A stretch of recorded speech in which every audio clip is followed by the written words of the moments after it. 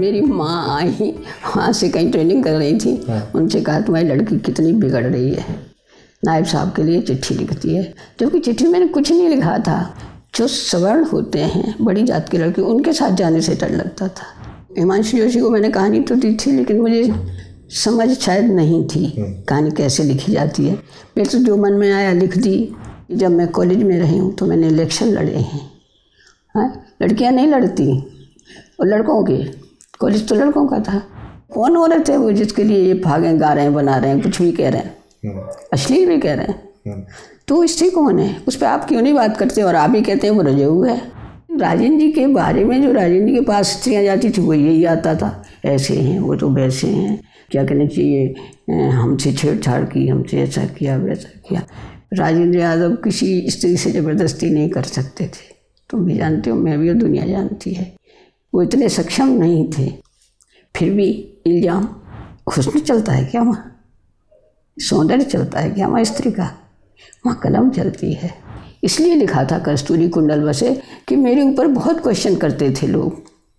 ये नहीं, ये क्या है? ये तो सब बनावटी लिख रही हैं, ये तो ऐसा है, ऐसा मुझे सब कुछ खोलना था। कुछ भी छिपाना नहीं था। ऐसे पुरस्कार का क्या करे? इतना टुच्चापन है। हाँ। वो ले भी आऊँ मैं यहाँ रख लूँ तो मैं किस नज़र से उस उसको देखूँगी? मुझे ताजुब हुआ जब मेरे पास ऑफ़र आया। कि भाई बहुत स्त्रियाँ थी पुरुष भी बहुत थे। हिंदी अकेडमी के, के लिए आया। पहले तो महिला आयोग के लिए आया था। मैंने मिलन में क्या आनंद है? सारा जो प्रेम का पूरा खाका बिछो लिखता है। नमस्कार स्वागत है आपका संगत में। मेरा नाम है अंजुम शर्मा।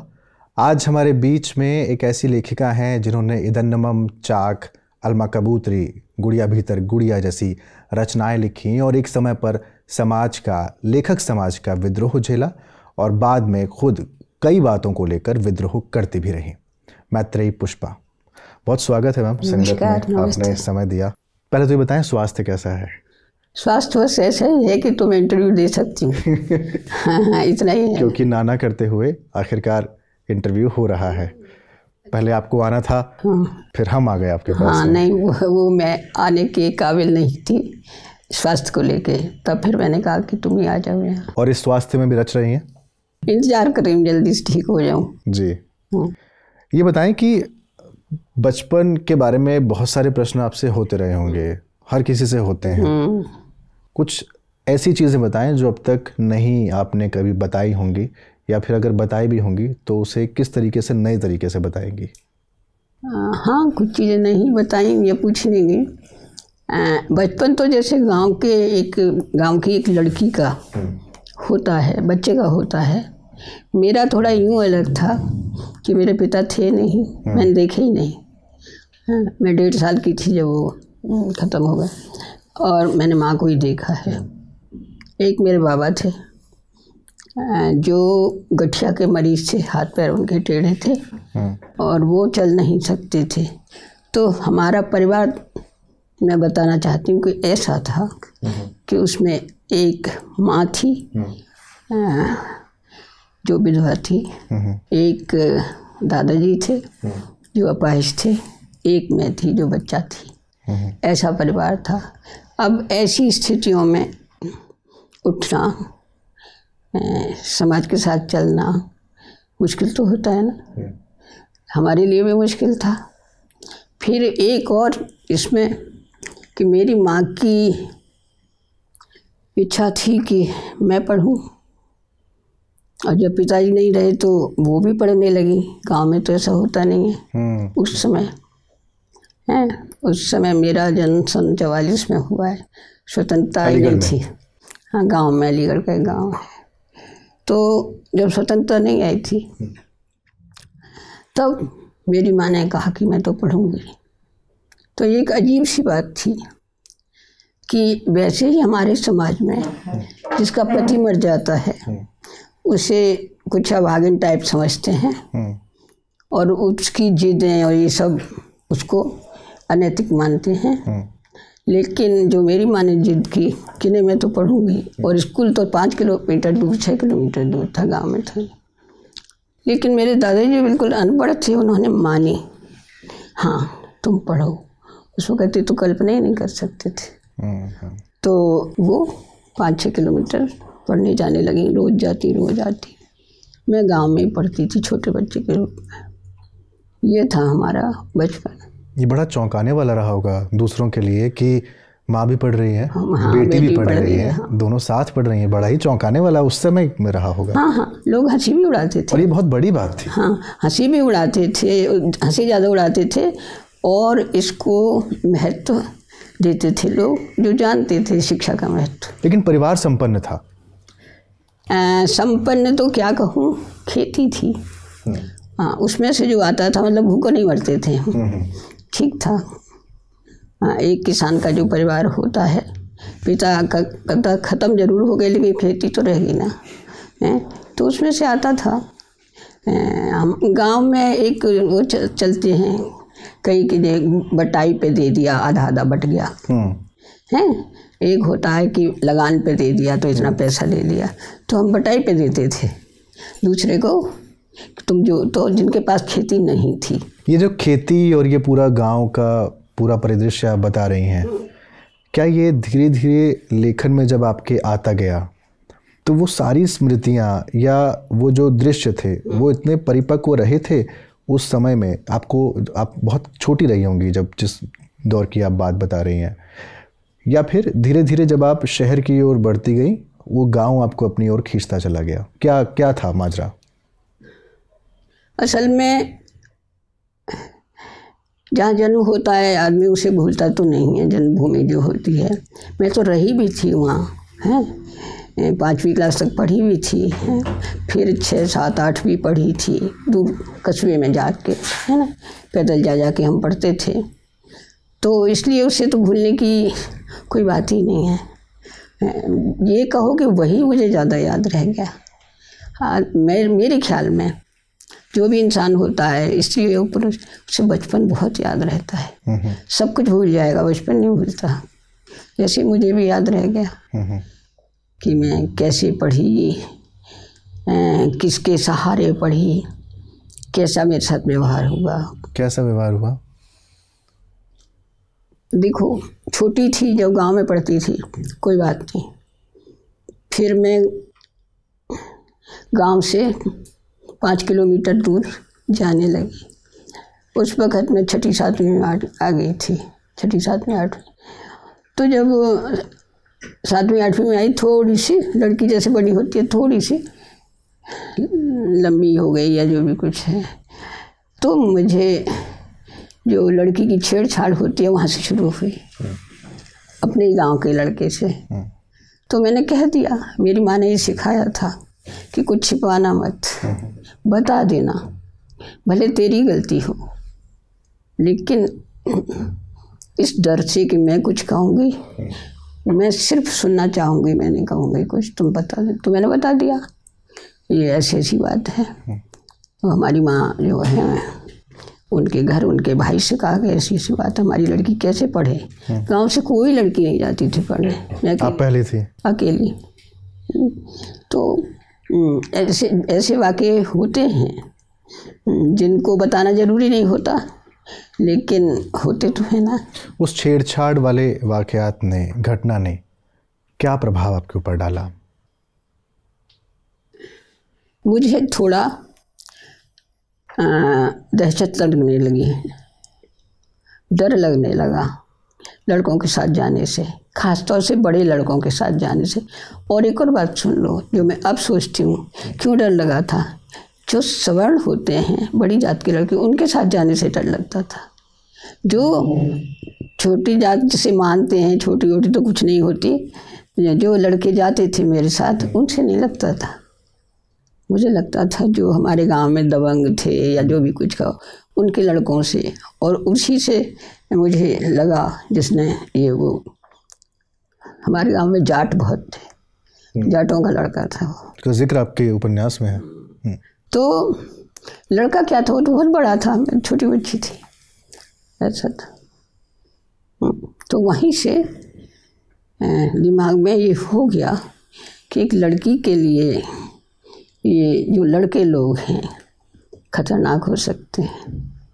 है ना? समझना चाहिए। मैंने अपनी माता जी से कह दिया सब। लेकिन खतरनाक तो होते हैं लेकिन बहुत छोटी सी उम्र में प्रेम भी आपके जीवन में आ गया। हाँ। वो तो खतरनाक नहीं था? नहीं। तो उसने ऐसा काम ही नहीं किया। वो तो मैंने कई बार लिखा भी है तो रिपीट ही हुआ कि उसने तो चिट्ठी लिखी थी। हम्म। ग्यारह साल की उम्र थी? नहीं। तेरह चौदह साल चौदह की हुए हम्म। तो ग्यारह साल में तो मैंने लिख दी थी किसी को चिट्ठी। वो पकड़ी गई। बड़ा बवाल मचा गाँव में। बताइए थोड़ा उस बारे में। हमारे गाँव में चकबंदी हो रही थी खेतों की होती है, चकबंदी तो नायब तहसीलदार आए थे। अब मैं बच्ची ही थी लेकिन मुझे अच्छे लगते थे। हो सकता है हारमोन्स तब से ही हो गए हों। हम्म, हाँ, सक्रिय। मुझे बहुत अच्छे लगते थे तो मुझे थोड़ा इसका शौक था लिखने का खासतौर से चिट्ठी लिखने का हम्म, कविता लिखने का। आती नहीं थी कविता लेकिन लिखने का पढ़ने का कविताएँ पढ़ने का। हम्म। तो मैंने उनके नाम चिट्ठी लिख दी। है और कुछ नहीं लिखा उसमें ये लिखा।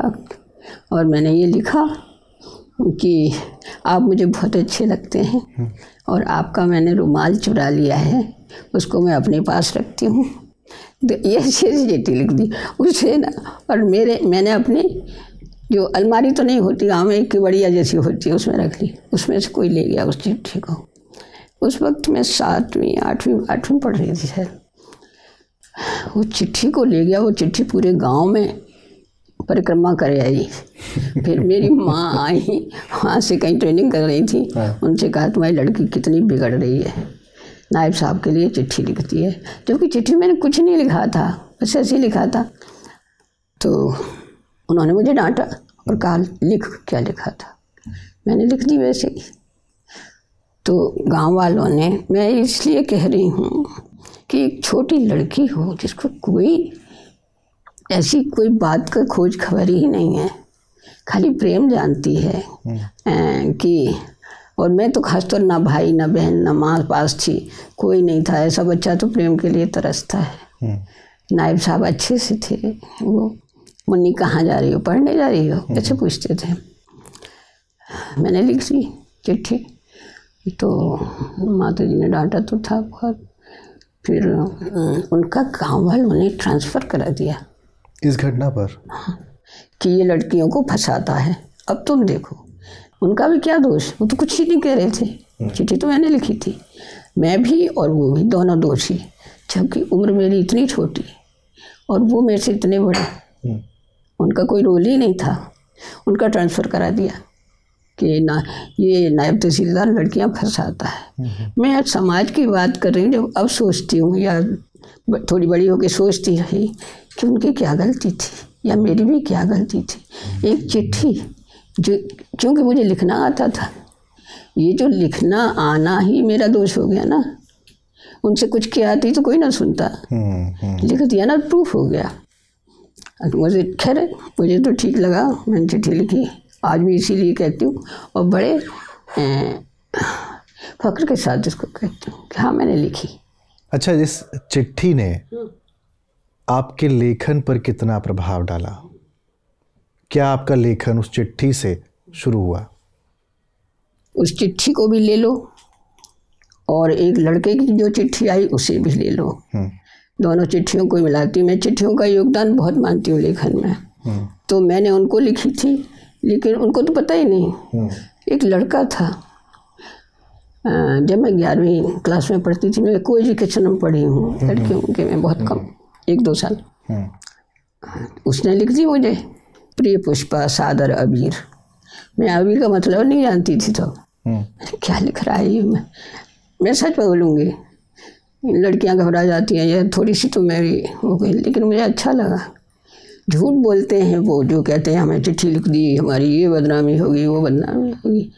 अच्छी लगती है कोई लिखे तो। हम्म, हम्म, प्रेम की चिट्ठी तो सबसे ही अच्छी होती है। तो अब जो नायब तहसीलदार से हट के यहाँ आ जाओ। उसके बाद उनके बाद वो मिला मुझे। हम्म, नायब तहसीलदार को तो मैंने लिखी हम्म, लेकिन लड़के ने मुझको लिखी। हम्म, तो मुझे उसने कविता में लिखी। तो मुझे कविता से बहुत प्रेम हो गया। लड़के से तो जो हुआ सो हुआ कविता से ज़्यादा हो गया। हाँ हाँ। और मैंने निकाल जहाँ भी मैगजीन देखूँ कविता पढ़ूँ उसमें किसी लाइब्रेरी में जाऊँ तो कविता निकालूँ अपनी किताब में पढ़ूँ तो कविता पढ़ूँ। ऐसे करके हम्म, मैं कविता पढ़ने लगी और लिखने का लगा। मैं भी तो लिखूँगी ये लिखता है। ऐसे करके।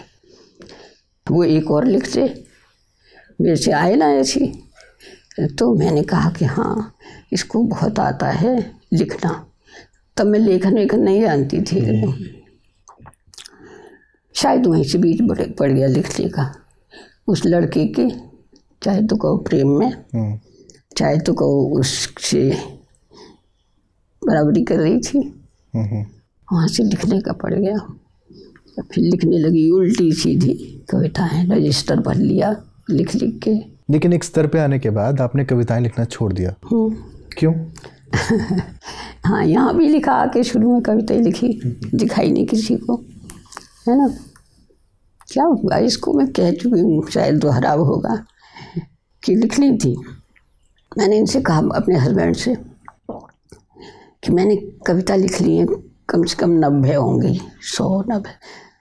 क्या करूँ इसका? अ, कहीं मैगजीन में भेजूँ छपेंगी नहीं। पक्की बात है। तो इन्होंने कहा कोई बात नहीं हम छपवा देंगे। हम्म, मैं कहा तुम छपवा दोगे? हाँ। तो मैंने इनको दे दी। ले गए।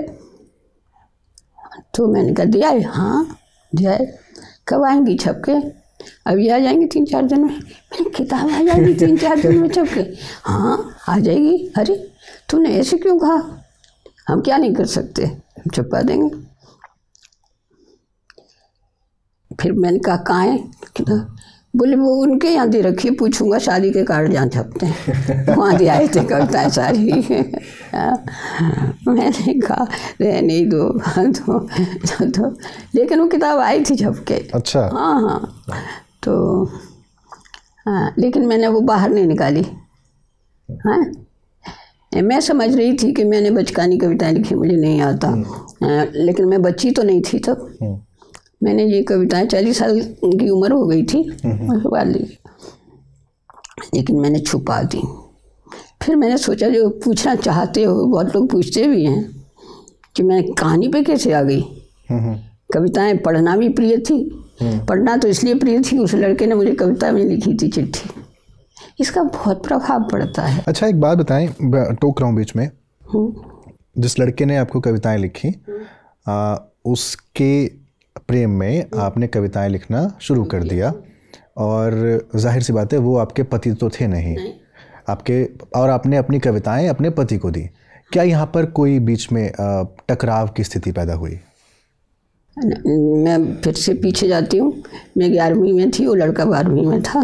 लेकिन उसने कविता ऐसी लिखी थी चौंकाने वाली कि ऐसी लिख सकता है। मैंने पहले सो, सोची चुरा उरा लाया होगा लेकिन नहीं थी ऐसी बात।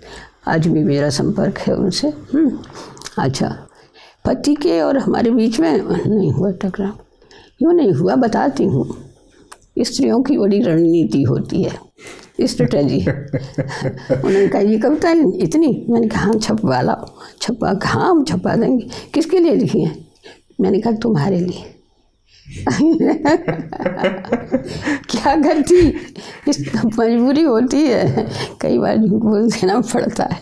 क्योंकि मैं झूठ बोलने में बहुत डरती हूँ और बचती हूँ। लेकिन बाद में तो आप इंटरव्यू में सच बोलती रही। हाँ हाँ बिल्कुल। लेकिन उस वक्त स्थिति ऐसी थी। अब मैं कैसे कहूँ कि इसको लिखी है उसको लिखी है? पति ये नहीं सुनना चाहता। वो तो जानती हूँ ना। हर पत्नी जानती है। वो क्यों किसी दूसरे का नाम सुनेगा? तो ये कह रही तुम्हारे लिए तो छब्बा लाए तो ये तो कविता का की कहानी तो यहीं बंद हो गई। मैंने कहा ऐसे काम चलेगा नहीं। ये धर्म में गए हिंदुस्तान छापेंगे नहीं मेरी कविता लौटा वोटा देते थे। और तो मुझे कहानी लिखनी चाहिए देखें लिख क्या हो। कहानी लिखी फिर। और एक समय के बाद कहानी से भी आपका मोहभंग होता चला गया। उपन्यास लिखने लगी। आप उपन्यास लिखने लगी। हाँ। कहानी से मोहभंग क्यों हुआ? कहानी में मैंने मेरी ज़िंदगी बड़े उससे गुजरी है जिसे यहाँ पे संघर्ष कहा जाता है। अकेली लड़की। लड़कियों का स्कूल से सिर्फ़ दो साल के लिए मिला था बाकी लड़कों में ही पढ़ी हमेशा। और जहाँ की मैं बात बता रही हूँ कि लड़के ने मुझे चिट्ठी लिखी वहाँ में एक लड़की थी बड़ी ग्यारहवीं में पढ़ती हुई। बाकी सारे लड़के थे। कुछ पाँच वो छठी क्लास में सातवीं में दो एक आध लड़की पढ़ रही थी। बाकी कोई नहीं था। तो अब तीन चार सौ लड़कों में अकेली हूँ कैसा लगेगा? एक ही लड़की। फप्तियाँ भी कसी जाती थी। लड़कियों को छेड़ा जाता है वो भी होता था। इवन टीचर्स टीचर्स भी मैंने देखे जिन्हें हम शिक्षक कहते हैं अध्यापक कहते हैं गुरु मानते हैं वो भी। क्लास में भक्ति कसते थे मेरे ऊपर है कोई ऐसा चित्र ले आते थे जो क्लास के लड़कों को दिखाते थे और लड़के ठाका मार के हँसते थे मैं अकेली खिसियाई सी रह जाती कोई तो होगा जो साथ देता होगा। वही था जिसे प्रेमी क्लियर कर दो तुम। साथ देता था जो उसी को प्रेमी क्लियर कर देते हैं लोग। कि भाई तुम ऐसा क्यों करते हो? उसके साथ कि तू कौन है? ठीक? तो उनको तो दे दिया जाता है ना। लेकिन मैं मैं जो सवाल कर रहा था वो कहानी और उपन्यास वाला सवाल था अब मैं इसके बाद आऊँगी ना हम्म। तो कहानी लिखने लगी है और कहानी मैंने लिखी तो मैंने सीधी साप्ताहिक हिंदुस्तान को भेजी कि हम्म। जैसे मेरी छपी जाएगी वहाँ नहीं छपी हम्म। लौट आई फिर मैंने और सुधार के लिखा और मैं चली गई साप्ताहिक हिंदुस्तान के ऑफ़िस में मैंने कहा यहाँ कहानी कौन लेता है? तो किसी ने कहा हिमांशु जोशी। तो हम्म। मैंने कहा हिमांशु जोशी कौन है? तो वो हंसने लगा जो भी था। तो कहते इस कमरे में बैठे तो आप सीधे मिलने चली गई थी? सीधी हैं? मैंने थ्री व्हीलर किया। गई इनसे पति से कोई वाहन वाहन नहीं मांगा ना लिया। वो कुछ कहते कहाँ जा रही हो? कहाँ जा रही हो? चली गई तो फिर वो वहाँ तीन लोग बैठे थे उस कमरे में जहाँ मैं थी कहानी तो मैंने पूछा कि इनमें से आप में से हिमांशु जोशी कौन है? तो हिमांशु जोशी आज से हूँ मैं हूँ। तो कहने मैंने कहा मैं कहानी लाई हूँ। हम्म, आप छापेंगे? कहते हाँ कहानी दे दीजिए। दे दी। मुझे कुछ अच्छा सा नहीं लगा उस दिन। एक पुरुष की नज़र से जैसे उन्होंने देखा। हिमांशु जोशी ने आपको। हम्म। क्योंकि औरतें तो पहचान जाती हैं ना। हम्म। कहानी तो मैंने दे दी। फिर अच्छा नहीं लगा। फिर मैंने सोचा मैं नहीं आऊँगी। हम्म। तो लेकिन कहानी छप गई। अच्छा। हाँ। उन्होंने कहानी छाप दी। मैं शुक्रगुजार हूँ उनकी। और उन्होंने मुझे साहित्य में प्रवेश दिलाया। मैं कभी नहीं भूलूँगी इस बात को। अब वो जो एक पुरुष दृष्टि होती है तो वो तो ज़्यादातर के पास होती है कोई दिखा देता है कोई नहीं दिखाता। हम्म। तो ठीक है कहानी छप गई वहाँ से सिलसिला शुरू हो गया। उस जो कहानी छपी थी उस कहानी से आप संतुष्ट थी? संतुष्ट तो देखो लेखक होता नहीं है नहीं आगे क्योंकि मैं मैं एक कोट पढ़ना चाह रहा हूँ जो कि वो सफ़र था कि मुकाम था में से है। और यहाँ पर आप कहानी पर ही बात करते हुए आप ज़िक्र कर रही हैं कि आपको फ़ोन आता है राजेंद्र यादव का और आपने यहाँ पे लिखा कि आपने कहानी की बड़ी सी व्याख्या मेरे सामने रख दी। मसलन घटना एक होती है वाक्य छोटा सा होता है पात्र एक या दो अथवा तीन चार होते हैं उनके बहाने हम क्या कहना चाहते हैं? अपने समय की समीक्षा करते हैं अपने समाज को परिभाषित करते हैं। समझती हैं ना आप? ये राजेंद्र यादव? कहा। ने आपसे कहा। हम्म। तो एक तरीके से और इसके बाद आप कह रही हैं मैं गुमसुम कुछ पल्ले नहीं पड़ा लेकिन इतने वर्षों बाद आज लगता है कि आप कच्चे लेखक को रचनाकार बनाने के उपक्रम में महारत हासिल लिए हुए थे। बिल्कुल। सही इससे समझ ये आ रहा है कि आप कहानियाँ तो लिखती थी लेकिन कहानी की जो समझ थी हाँ, वो नहीं थी वो नहीं थी। नहीं थी। मैं तो खुद मानती हूँ इस बात को। एक तो हिमांशु जोशी को मैंने कहानी तो दी थी लेकिन मुझे समझ शायद नहीं थी हम्म। कहानी कैसे लिखी जाती है। मेरे तो जो मन में आया लिख दी। एक हमारे गाँव में स्त्री थी औरत थी तो ऐसा होता है ना कि औरत के मामले में कि वो कुछ भी अच्छा करे। अगर उसमें कोई किसी बीमार पुरुष के लिए कर रही है मान लो अगर पुरुष है तो बस अफवाहें फैलती हैं। तो ऐसी स्त्री की वो कहानी थी कि अच्छा करे तो भी अफवाह फैले।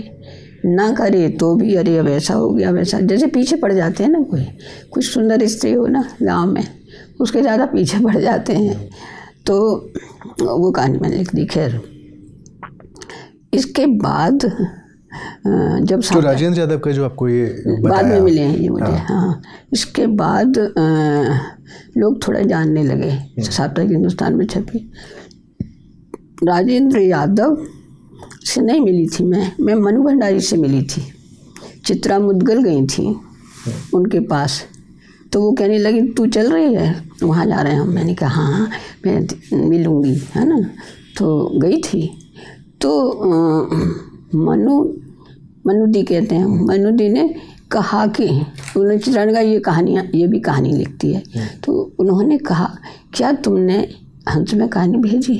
मैंने कहा हंस मैं नहीं जानती। मैं नहीं जानती थी। राजेंद्र को दी। कहाँ है वो कौन है? उनसे ही पूछ रही मनु भंडारी से। तो मैं नहीं जानती। अच्छा तुम ऐसे करना। हम्म, मैं बताऊँगी। मैंने दूसरे दिन फ़ोन किया। नहीं उनका ही आया कि तुम ऐसे करो कहानी राजेंद्र को दे दो। और वहाँ का पता भी बताया मुझे दरियागंज में बैठते खैर मैंने दे दी। उनको जाके कहानी दे दी। तो फिर मैं चली आई। पहले तो मैं डर के मारे ऐसे ही बैठी रही मैंने कुछ नहीं बोला। उन्होंने कहा सर ऊँचा करो। मैत्री पुष्पा है तुम्हारा नाम मैंने कहा हाँ। हम्म। तो मैत्री पुष्पा जी सर ऊँचा करके बैठी है। ऐसी कहानी लिखेंगी? मैंने सर ऊँचा किया। मैंने कहा हाँ मैं कहानी लाई मैं बहुत घबरा रही थी। तो नाम सुना था। जब तो दे आई नहीं छपी? हाँ। और उन्होंने कहा फिर मैं मनु भंडारी के घर गई वो जो साथ रहते थे। हम्म। तो बोले कि ऐसे नहीं छपती कहानियाँ जो तुम तुम लिखती हो। कैसी लिखती हो? पहले पढ़ो। किताबें पढ़ो। तो फिर मैंने कुछ किताबें पढ़ी उन्हें जो बताई। मन लगा के पढ़ी। फिर कहानी लिखी। है ना? फिर छपी। वो हाँ वो छपी मेरी चकबंदी पे लिखी हम्म। लिखी तो गाँव की ही। आ, लेकिन चकबंदी जो होती है खेतों की हाँ, हाँ। राजेंद्र यादव भी बड़ी मुश्किल से जानते थे चकबंदी क्या होती है। तो उस पर तो उसमें स्त्री का रोल क्या होता है खेत कैसे दिए जाते तो वो उनको ठीक लग गई। हम्म। तो उन्होंने छाप दी। कहानी तो आपकी छपी। लेकिन कहानियों से ज़्यादा चर्चा आपके उपन्यासों की होती है। हम्म। चाक की बहुत होती है इदनमम की बहुत होती है। लगभग सभी उपन्यासों की चर्चाएँ खूब होती हैं। मैं उनके पात्रों पर बात करना चाहता हूँ।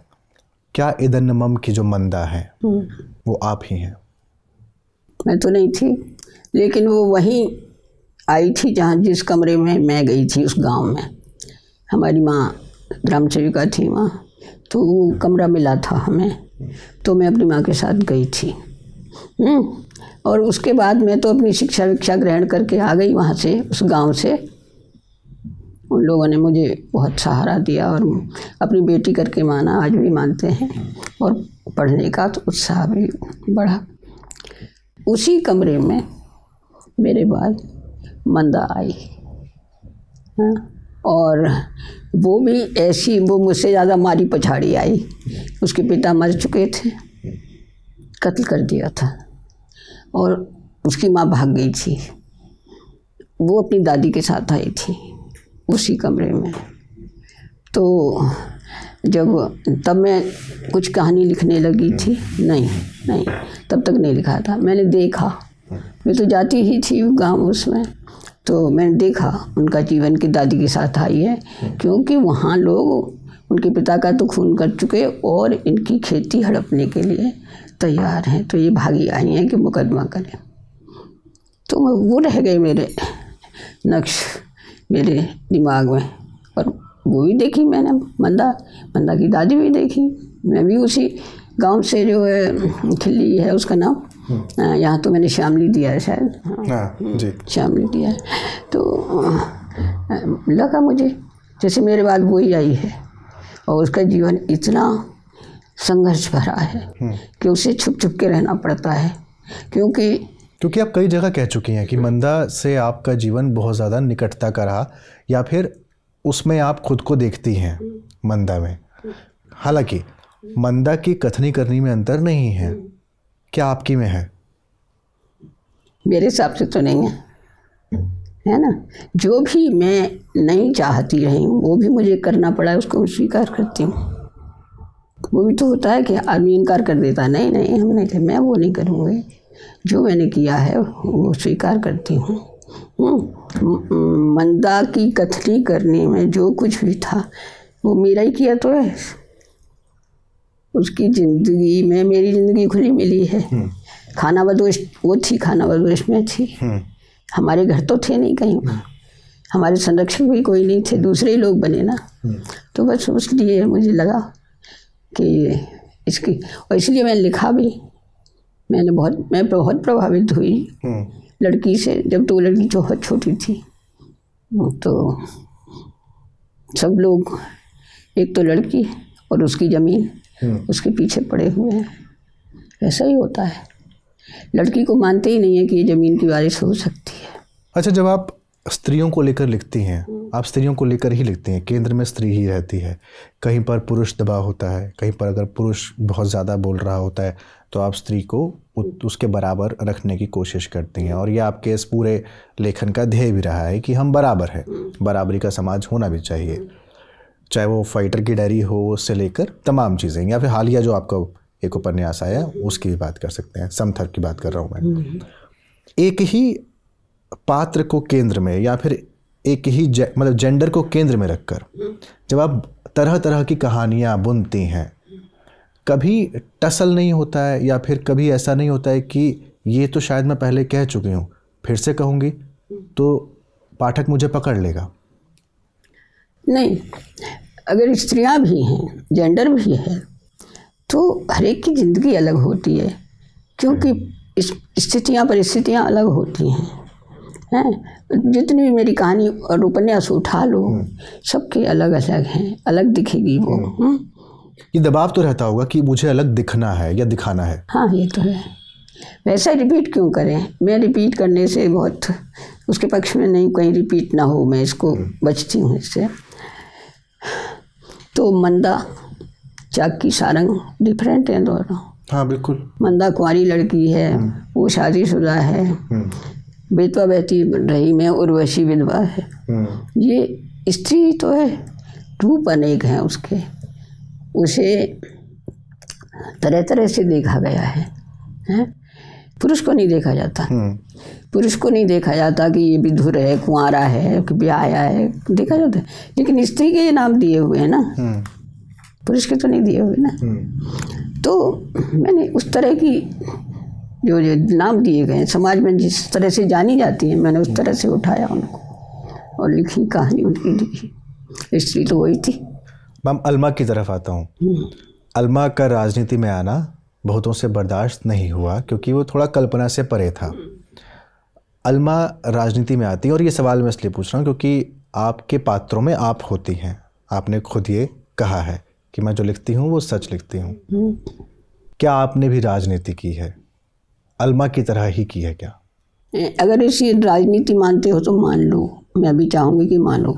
और राजनीति साहित्य समाज से लेकर हिंदी अकादमी तक? हाँ क्योंकि काम जो काम होता है ना हम काम करते हैं उससे झलकता है कि हम कर क्या रहे हैं।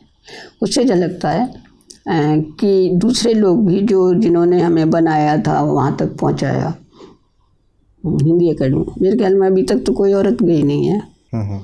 नहीं हुई ना साहित्य अकेडमी में ना हिंदी अकेडमी में। है? कोई नहीं। अध्यक्ष उपाध्यक्ष बना। मुझे क्यों भेजा? क्योंकि काम रुख मेरी किताब साहित्य मेरा जो सोचना है शायद ये उनको क्लिक किया होगा कि मैं कुछ दूसरों से अलग हूँ, दूसरी स्त्रियों से, पुरुषों की बात मैं नहीं कर रही। तो ये है और इसमें मैंने राजनीति नहीं की, मेरे व्यवहार में राजनीति आ गई होगी, पक्का।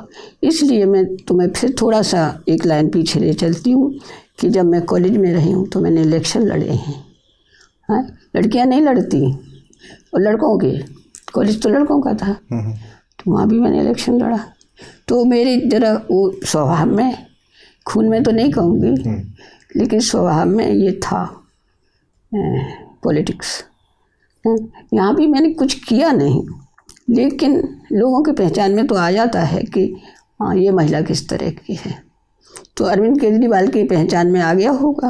उन्होंने तो मुझे दिया ऑफ़र उन्होंने तो लेकिन आप तो रामलीला मैदान गई थी। हाँ मैं जब इनकी स्वामी अग्निवेश से आपने कहा था आपको ले चले हो। हाँ तो मुझे इनसे तो कोई मतलब ही नहीं था इनको नहीं मैं कुछ मैंने कुमार विश्वास को देखा था बस इनको नहीं देखा। मैंने जबकि फ़ोटो अब मैं देखती हूँ पुरानी तो मैं देखती हूँ कि पीछे मनीष सिसोदिया जब मैं वहाँ पे मुझसे कहा था बोलो तो मैं बोल रही हूँ तो पीछे मनीष सिसोदिया बैठे हैं और अन्ना लेटे हुए हैं। फ़ोटो जो आई थी। लेकिन मुझे कुछ नहीं पता था। अन्ना कोई जानती थी जानती भी नहीं थी ऐसे ही। नहीं मैत्री जी गए तो बहुत सारे लेखक थे हाँ। है ना? लेकिन सबको तो वो पद ऑफ़र नहीं हुआ ना? कुछ कुछ उन्होंने ऐसा देखा होगा कुछ आ, कुछ मैं लिखती हाँ। कुछ मैंने आ, अगर मैं ये कहूँ कि मुझे अरविंद केजरीवाल का नाम अच्छा लगा और मैंने अप्रिशिएट किया लिख के किया है? तो वो चीज़ें भी उन तक पहुँची होंगी उस वक्त। अब तो शायद वो गौर भी नहीं करते हों। पहुँची। मुझे ताजुब हुआ जब मेरे पास ऑफ़र आया। कि भाई बहुत स्त्रियाँ थी पुरुष भी बहुत थे। हिंदी अकेडमी के, के लिए आया। पहले तो महिला आयोग के लिए आया था। मैंने कहा मुश्किल होगा है ना? रात में भी जाना पड़ता है। खैर हम्म, फिर उन्होंने कहा कि हिंदी अकेडमी ठीक है ले लेंगे साहित्य से जुड़ा है। तो हम्म, कुमार विश्वास ही आए थे शायद। हाँ तो हम्म, दिया मुझे। मेरा कोई परिचय नहीं था अरविंद केजरीवाल से। अच्छा आप हिंदी अकादमी आप चली गई? हाँ। उपाध्यक्ष बनी। लेकिन बहुत जल्दी आ गई। वापस आ गई। क्यों? क्या आ, काम नहीं करने दिया गया? या जो आप काम करना चाहती थी वैसा काम हो नहीं पाया? देखो वहाँ जो समय मिलता है वो नपातुला मिलता है। पहले एक साल का दिया था। टर्म जो होता है एक साल का दिया था मुझे। जब थोड़ा काम देखा तो दो साल और बढ़ा दिया। हम्म। उसके बाद फिर ये होता है ना विरोधी पैदा हो जाते हैं। वो तो आपके शुरू से रहे हैं। मैं जब ही तो मैं कह रही हूँ तो नए लोगों को रास आता कि ये रहें। जब बदलाव किए थे बहुत बदलाव किए। मैगजीन बिल्कुल बदल दी प्रोग्राम करवाए जिस तरह से लोगों को लगा नहीं इसका रहना ठीक नहीं है। तो सोचा होगा मुझे पता नहीं मुझे नहीं बताया। मुझे पहले मैं फिर वो डबल हो जाएगा कहना हम्म, कि पहले एक साल का दिया दो साल बढ़ा दिया। उसके बाद मैं ये कहूँ कि मैं नहीं चाहती थी तो ये माना नहीं जाएगा। लेकिन मैं भी नहीं चाहती थी और दो साल ख़त्म हो रहे थे। हम्म। तो बस ठीक है आ गए लेकिन वहाँ जो बदलाव किए वो लोगों को रास नहीं आया लेकिन अभी भी वही क्यों चल रहा है? जिस तरह की मैगजीन में करके आई थी डिज़ाइन जो होना चाहिए उसका जो कलेवर होना चाहिए उसका वही क्यों चल रहा है? उसे हटा देते अब नहीं तो उपाध्यक्ष कई आ गए जब से। तो कई चीज़ें थी जो बदलाव किए और वो भी मुझे पता है कि लोगों को कुछ लोगों को पसंद नहीं आए। हम्म। उन्होंने नहीं चाहा। जब तक अरविंद केजरीवाल के हाथ में हिंदी अकेडमी रही तब तक मैं थी। उसके बाद नहीं। तो अल, अलमा जो चाहती थी एक तरीके से। हाँ वो उतना तो हो गया। उतना तो हो गया। हाँ, हाँ, हाँ। चाक की तरफ़ आता हूँ और चाक में एक पंक्ति में पढ़ना चाहूँगा जहाँ पर गजाधर सिंह का हौसला बार बार डगमगाता है और वो कहते हैं कि हिम्मत बनाए रहने के लिए सावधानी की इतनी ज़रूरत पड़ने लगती है जितनी फ़ौज में गोलाबारी करते और झेलते समय न पड़ती थी। अपनी जान की खातिर भी नहीं रखा इतना छीक छीक कर पाऊँ अपना ही गाँव युद्ध भूमि से ज़्यादा खतरनाक होता। मैंने ये इसलिए लिखा है अनुभव से लिखा है मैं गाँव से ही हूँ और गाँव में जिस तरह की राजनीति होती है जिस तरह की एक दूसरे के ऊपर गाज गिराना होता है भयानक से भयानक करते हैं काम उस तरह की है। चाक में वही है। चाक में वही है। जो जितनी भी लोग कहते हैं ना यहाँ राजनीति होती है। गाँव से ही शुरू हो जाती है वो। गाँव में जो भी हो रहा है हम्म, राजनीति के तहत हो रहा है सारा। प्रधान अपनी कर रहा है। सेठ साहूकार हैं जो दूसरों को पैसा देते हैं वो अपनी कर रहे हैं। गजाधर सिंह हैं वो नहीं चाहते ये सब हो। हम्म, वो एक सैनिक हैं आदर्श सैनिक हैं। तो वो देखते हैं तो उन्हें दुख होता है। वो अपने लड़के से भी सहमत नहीं है जो गलत गलत करेगा तो। वो बहू से सहमत है। ये भी क्वेश्चन मैं जोड़ देती हूँ कि लोगों ने मुझसे पूछा कि ससुर बहू से क्यों सहमत थे? हम्म। ससुर न्याय से सहमत थे। चाक में जिस तरह के ससुर या श्वसुर हैं आमतौर पर वैसे नहीं है। देखे नहीं जाते और ये कई आलोचकों ने लिखा है हाँ आपके बारे में। मुझसे भी पूछते हैं। कहाँ से वो कॉन्सेप्ट आपके जहन में आया था? वो कॉन्सेप्ट मेरे गाँव से ही आया। मैं कहीं से लाई नहीं हूँ। मैंने कल्पना नहीं की है। मेरे जो दादाजी थे बाबा कहती थी वो भी तो ऐसे थे। मेरी माँ तो विधवा थी उन्होंने पढ़ने क्यों भेजा? उस जमाने हाँ?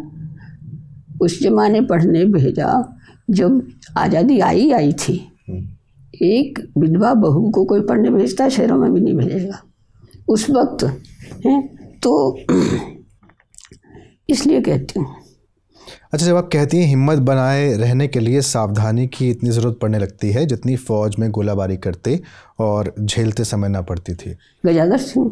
हाँ गजाधर सिंह की तो बात है लेकिन क्या आपको हिम्मत बनाए रहने के लिए सावधानी की ज़रूरत पड़ी है? क्यों नहीं पड़ी? पग पग पे पड़ी जब से पढ़ी हूँ जब से मैंने शुरू की है स्कूल में गई हूँ थोड़ी सी मैंने बड़ी हुई हूँ। तो पग पग पर सावधानी तो बरतनी पड़ी एक बात। फिर शादी हो गई। हम्म, शादी भी अच्छे से आदमी से हुई। वहाँ भी जब परिवार होता है वहाँ भी सावधानी करनी पड़ती है। स्त्री को तो इतनी सावधानियाँ करनी पड़ती हैं जितनी सैनिक को करनी पड़ती हैं। सैनिक तो युद्धभूमि में करता है स्त्री गृहस्थ में करती है और पुरुषों के बीच करती है। घर परिवार में भी स्त्री सावधानी करती है सावधानी से चलती है। घर में क्या घर परिवार में क्या सारे संरक्षक होते हैं? भक्षक ज़्यादा होते हैं। लेकिन लेकिन उसी घर परिवार में रहकर अगर सारंग ये कहती हैं कि सारंग रंजीत की बाबत सोचकर कांपने लगती है तो श्रीधर के बारे में सोचते ही आशा आकांक्षाओं के बगीचे बोना शुरू कर देती है। इसलिए कि पति में और शिक्षक में बहुत फ़र्क होता है। जिसको हम गुरु मान लेते हैं ना गुरु क्या वही शिक्षक टीचर मान लेते हैं। और पति पति तो आदेश करता है और चाहता है कि ये मेरी आज्ञा का पालन हो। लेकिन सच्चा शिक्षक होता है वो आपको सिखाता है हम्म, और देखता है कि मेरा छात्र या छात्रा सीखी या नहीं। तो वही फ़र्क होता है। हैं? एक हुक्म देता है एक सलाह देता है। ये फ़र्क है। चाक के बाद कही सुरी फाक की बात करूँगा। कही सुरी फाक पर बहुतों को आपत्ति हुई। ज़्यादातर को आपत्ति हुई। लेकिन जिस तरीके से ये प्रोजेक्ट बनाकर काम किया गया, मैं चाहता हूँ थोड़ा सा उसके बारे में बताएँ, क्योंकि पुराने लोगों को पता है, वरिष्ठ लोगों को पता है। लेकिन आने वाली पीढ़ी या जो पीढ़ी अभी है, उसको कहीं सुरी फाक के बारे में बहुत नहीं पता है कि फाक के माध्यम से सुरी की ईजाद करना कितना कठिन रहा। देखो, बुंदेलखंड में क्या है, मैं यहाँ से आती हूँ। भागें गाई जाती हैं होली पे। और गा के छोड़ देते हैं। कुछ अश्लील भागें होती हैं स्त्रियों के लिए। वो भी करते हैं। हम्म, मैंने ईश्वरी का नाम बहुत चलता है फागों में उन्होंने। मेरे पास किताब भी है उनकी फागें जिन्होंने नोट कर ली। वो तो गाते थे। हम्म, वो फागे मैंने पढ़ी। फिर मैंने देखा कि ईश्वरी का नाम लेते हैं लोग। और जो उसकी नायिका है रजऊ का तो कोई नाम ही नहीं लेता। हम्म, वो ये ईश्वरी किसके लिए कौन औरत है वो जिसके लिए ये फागे गा रहे हैं बना रहे हैं कुछ भी कह रहे हैं? हम्म, अश्लील भी कह रहे हैं। हम्म, तो स्त्री कौन है? उस पर आप क्यों नहीं बात करते और आप ही कहते हैं वो रजऊ है? तो रजू कौन है? तो मैंने उस पर रिसर्च किया। जो लोगों ने थीसिस लिखी थी वो भी पढ़ी मैंने। तो रजू को मैंने एक स्त्री के रूप में ढाला। और इनसे ईश्वरी से जो ईश्वरी का लगाव था वो भी लिखा कि वो जो है रजू को देख के ज़ाहिर है आकर्षण तो सभी के अंदर होता है तो रजू को देख के कितने आकर्षित थे और प्रेम करने लगे। रजू भी करने लगी होगी। घूंघट पर्दा की बात होती है और औरतें घूंघट में से भी प्रेम कर लेती हैं। उन्हें हाथ आए। तो इसलिए कहते हैं फिर मतलब दीवाने हैं उनके प्रेम में। कितना समय लगा इस पूरे रिसर्च में? रिसर्च में तो क्योंकि मैं बुंदेलखंड से हूँ वहाँ ईश्वरी की भागें गाई जाती हैं कुछ बताते भी हैं ऐसा है। तो ज़्यादा नहीं लगा। एक डेढ़ साल लगा होगा। लेकिन राजेंद्र यादव ने तो ईश्वरी को लंपट कह दिया। हाँ। अब उनसे भला हमने वो लिखवाए। कहने लगे मैं लिखूँगा मैं लिखूँगा। मैं नहीं कभी कहती थी कि आप लिखिए। वही कहते थे मैं लिखूँगा इसका फ्लैप मैं लिखूँगा इसकी भूमिका मैं लिखूँगा। और लोग वो लिखते थे लोग मेरे पीछे पड़ जाते थे हैं उनने लंपट कह दिया कि ऐसे लोग। मैंने तो लंपट कहीं नहीं कहा उसमें है? आपत्ति नहीं हुई इस बात पर? मुझे मुझे? अब कैसे? उनने लिख दिया तो कैसे लिखेगा कैसे मिटाए? आपत्ति खूब राज ने क्या लिख दिया? खूब लड़ लड़ाई तो मैं नहीं करती थी वो मेरे बड़े थे। पात्र तो आपकी लड़ाई करते हैं? हाँ हाँ क्यों नहीं करेंगे? तो ये था। अब ऐसे वो राजन जी को हम सुना देते थे। राजन जी एक फाग में है कितनी बेरा भर लो पानी रजू न आज दिखानी। अरे वाह वाह तो राजन जी वाह वाह करते थे। तो उन असल में तो लिखो लिखो उन्हीं ने ये कहा कि लिखो। इस पर लिखो। तो लिखा। हम्म, हम्म। तो बस यही है। अगर भाषा के स्तर पर बात करें या कथानक के स्तर पर बात करें क्या आप लिखते हुए इस बात का ध्यान रखती हैं कि रचना सभी के लिए हो वो आत्म केंद्रित ना हो जाए केवल आप तक ना रह जाए? और ये सवाल मैं इसलिए कर रहा हूँ क्योंकि आपने एक जगह लिखा था कि सविता सिंह कहीं पर कविता सुनाने आई हुई थी। और जब वो कविता उन्होंने सुनाई तो वो शायद वही समझ पाई और कोई नहीं समझ पाया। होता है। होता है ना? बिल्कुल।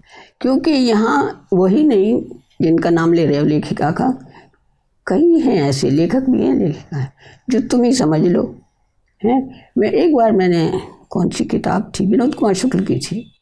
तो मैंने कहा राजेंद्र जी मेरी तो दीवार में खिड़की रहती है। हम्म, तो पढ़ो पढ़ो ये पढ़ो। मैंने फिर मैंने पढ़ पढ़ी। तो मैंने साफ़ कह दिया हमारी समझ भाई कुंड होगी। हम्म, तो मैंने राज़ी मेरी समझ में नहीं आई। आप बताइए कहते समझ में तो हमारी भी नहीं आई। पर तुम्हारे जैसे मूर्ख थोड़ी है जो कह दें कि हमारी समझ में नहीं आ रही। आप दीवार में खिड़की रहती है की बात कर रहे हाँ? नहीं आ रही थी। हम्म, उतनी नहीं है। हमारी थोड़ी ग्रामीण समझ है। सीधी बात करो तो आती है। हम्म, बहुत घुमाव फिरा हुआ में नहीं आता। न मैं न मैं लिखती हूँ घुमा फिरा के। हम्म, है ना? तो ये था। तो मैंने ध्यान रखा हम्म, कि कोई मेरी भी बात ऐसी नहीं होनी चाहिए जो लोग ना समझ पाए मेरे पाठक ना समझ पाए। ऐसा ना हो। मैं नहीं लिख साफ़ बात करते हैं सीधी और सीधी लिखते हैं। वो नहीं कि लोग सोच इसको कला कहते हैं। लेकिन कई बार वो सीधी बातें बहुत खराब लग जाती हैं। हाँ मैं जानती हूँ। तो ठीक है। हम लिख रहे हैं अगर आपको खराब लग रही है तो मत पढ़िए। खराब लग रही है तो कहिए भी कि हाँ खराब लग रही है। मुझे इसका बुरा नहीं लगता। शायद मेरे बराबर मेरी जितनी आलोचना हुई है किसी लेखिका की नहीं हुई होगी। इतनी हुई है। तो लेकिन ठीक है जो हमने लिखा हमने लिखा जो उनको लगा उनने लिखा। इसमें क्या है? चूँकि बार बार राजेंद्र यादव का ज़िक्र आ रहा है तो मैं एक चीज़ और यहाँ पर पढ़ना चाहूँगा। आप जब राजेंद्र यादव की बार बार बात करती हैं, एक तो आपके नाम के साथ जुड़े चले आते हैं वो। ऑटोमेटिकली ऐसा होता है कि जब भी आपसे बात होती है तो उनका ज़िक्र ज़रूर आता है। दौरे सफ़र एक दास्तान, जो इसका एक चैप्टर है, उसमें अगर बात करें तो स्त्रियों के माध्यम से मैं ये पढ़ रहा हूँ, जहाँ आप लिख रही हैं, मेरे मन में उन स्त्री मूर्तियों की स्मृतियाँ जाग उठी हैं, जो आपके बहुत नज़दीक ही नहीं, आपके हिसाब से अंतरंग भी रहीं। रूपवती, कमसिन, स्मार्ट, लगभग रीतिकालीन, मुग्धा, मध्य नायिकाओं की तरह, मगर वे नायिकाएँ नहीं थीं। बेशक नायक आप रहे। पहली चीज़ ये। दूसरा, अगर मैं इसी को फिर से पलटूं और यहाँ पर देखूँ तो आप लिख रही हैं, राजेंद्र जी, आप लाखों में एक हैं। उनको आश्वस्त करूँ कि जो आप पर निछावर हो गई, उसने आपको कामरूप इंद्र के रूप में देखा है या नहीं? लेकिन हो सकता है कि वो आप जैसे साहित्य के अनमोल नगीने पर मर मिटी हूँ। मैंने मान लिया कि वो नारी आपसे नज़दीकी बढ़ाना चाहती है। आप उसके स्वप्न पुरुष हैं। हाँ। इस पूरे प्रकरण को अगर मैं देखूँ या फिर जब जब आप राजेंद्र यादव की बात करती हैं और उनके आसपास जितनी महिलाएँ रहती थीं उनकी बात करती हैं आप केवल महिलाओं पर प्रश्न चिन्ह उठा प्रश्न चिन्ह लगाती हैं। और राजेंद्र यादव को हमेशा नायक बना देना चाहती हैं। ऐसा क्यों है? प्रश्न तो राजेंद्र यादव पर भी उठ सकते हैं ना? और नायिकाएँ तो वो भी बन सकती हैं। देखो मैं ये बात कहूँगी तो कोई विश्वास नहीं करेगा। स्त्री तो मैं भी थी। जब उनके पास गई थी तो उम्र नहीं थी ज़्यादा है ना? स्त्री तो मैं भी थी। हम कोई ज़बरदस्ती करे पुरुष बलात्कार तो कर सकता है करता है। लेकिन पुरुष संबंध नहीं बना सकता। लेकिन राजेंद्र जी के बारे में जो राजेंद्र जी के पास स्त्रियाँ जाती थी वो यही आता था। ऐसे हैं वो तो वैसे हैं। क्या कहना चाहिए? हमसे छेड़छाड़ की हमसे ऐसा किया वैसा किया।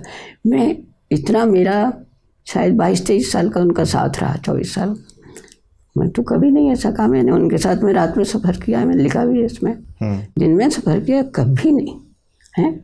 और मतलब ये कि मैं ये क्लीन चिट दूँ कोई मानेगा भी नहीं हाँ? तो अगर अगर इसमें जोड़ूं तो एक छोटा सा दो लाइन का वाक्य सुना दूँ। कानपुर में संगमन का वो हुआ था गोष्ठी हुई थी। मैं भी गई थी और मेरी पहली गोष्ठी थी वो ऐसी और राजन जी भी गए थे। तो रात के ग्यारह बज गए जब लौटे हम डिनर करके। मेरा कमरा उनका आसपास था। तो वो आईआईटी का गेस्ट हाउस था शायद। तो मैं और राजन जी चल रहे थे। वो तो बैसाखी से चलते थे। लेकिन फिर भी मैं तेज तेज जा रही थी।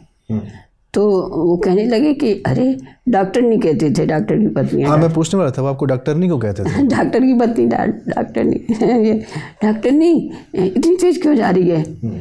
भाग क्यों रही है? मैंने कहा नहीं भाग रही थोड़ी धीमी हो गई।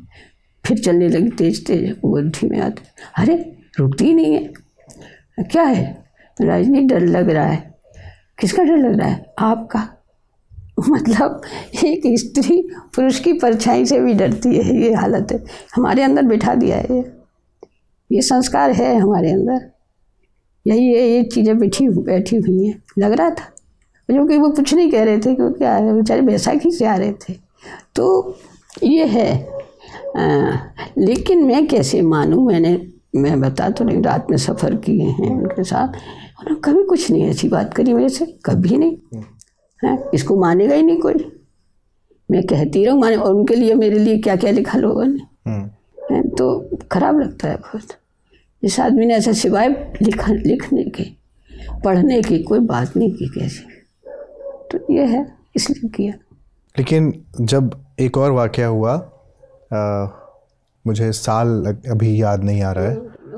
और वो वर्धा के कुलपति जो रहे उन्होंने एक अपशब्द का इस्तेमाल किया तमाम आत्मकथाकारों के बारे में।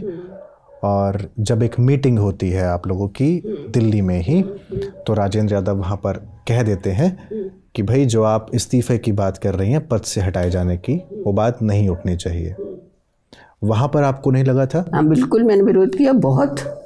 बहुत विरोध किया सबके सामने किया और राजेंद्र जी से बोलचाल बंद कर ली। मैंने कि मैं आपसे जितना आपको सोचती थी कि आप इस तरह के आप उस आदमी के लिए बोले जिन- जिसे सबको पता है मालूम है।